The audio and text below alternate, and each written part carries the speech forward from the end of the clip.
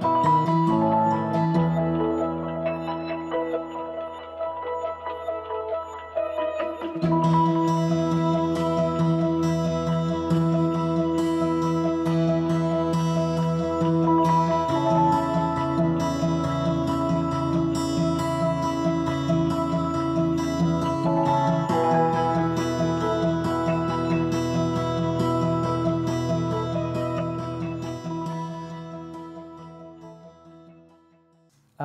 really was interested for this Moulton Museum um, exhibit to to look back on the ranch, how it used to look. I live in Aliso Viejo. I'm so familiar with the land that encompassed the Moulton Ranch, and I really was interested in just um, recording not how it looks today, how we all know it, but how it looked, and, and just giving some visual to the land that we live in and shop in and play in and how it how it's changed not just in the you know not over 100 years but even the last 30 years it's tremendously different and going out and painting on site and visualizing how it looked from photographs that I would have with me. I'd look at my phone, I would look at the scene, and I would try to recreate the scene outdoors using the, the actual light I was painting in. And it was really interesting, and I got so involved in it that every time I drive now through Laguna Hills or Laguna Niguel, I'm constantly looking around, envisioning how that, you know, Alicia Parkway, well, this used to be part of the lima bean fields below me, and now it's a hill uh, with a boulevard going across. And there's the 73 crossing, and I cannot drive now in this area without imagining in my mind what it used to look like. And through that, I've, I, my interest has grown with each painting to the point where I'd go out to paint one painting and find three more ideas for future paintings. Plein air painting to me means basically painting light, being outdoors, capturing light firsthand without photographs, without any indoor work.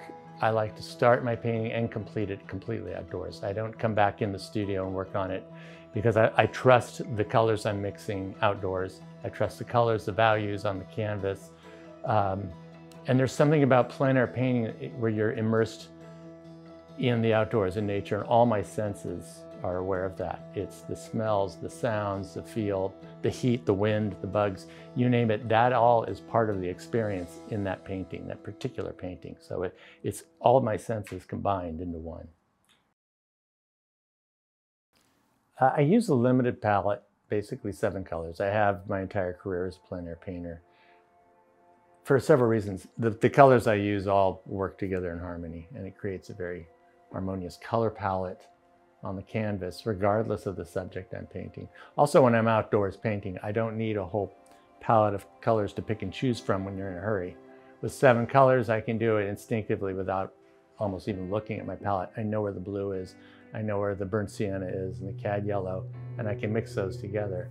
Um, those seven colors, I'm able to create pretty much every painting I have, whether it's the urban landscapes, seascapes, mountains, snow, you name it. Um, and it's worked for me. I'd be afraid to add any more colors.